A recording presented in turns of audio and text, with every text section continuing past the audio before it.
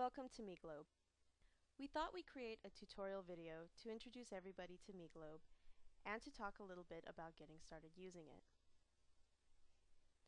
After signing up, just enter the username and password you chose during the sign up process and the language you speak and click sign in. In a few moments the chat interface will load. Now you'll notice your buddy list here on the right. You'll also notice you don't have any buddies yet. The first thing you'll want to do is look for someone to talk to. To find someone to chat with, let's go down here and open up the Find Someone tool. From here, you can search for people to chat with based on their username, gender, location, interests, or their primary language. I've been meaning to practice my Spanish, so I'm going to look for someone who speaks Espanol. You'll notice the green dot next to anyone that's currently online.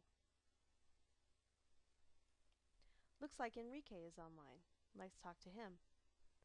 To add anyone that you found, just click Add Buddy and you'll now see that person on your buddy list.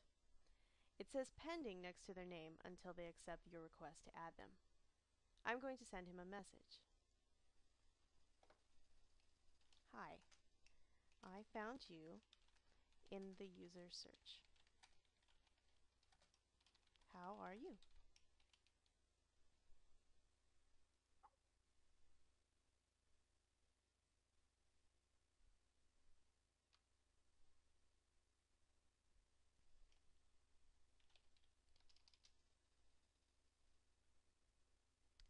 Where are you from?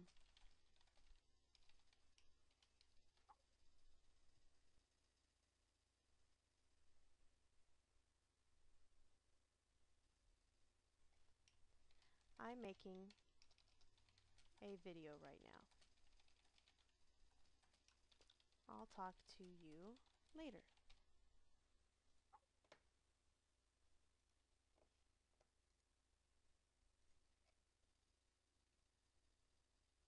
Another way to find someone to talk to is to invite a friend to MeGlobe. Just click on Invite a Friend to MeGlobe and enter their name their email address.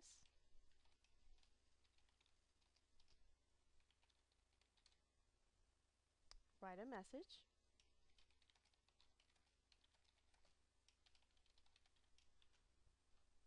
And click Send Invites. In a few minutes, they will get an email from you inviting them to come and chat with you on MeGlobe.